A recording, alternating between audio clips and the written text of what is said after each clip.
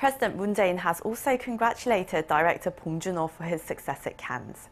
The president used Twitter to say that the director and all those who worked on Parasite had brought pride to Korean cinema in the year that the industry celebrates its 100th anniversary.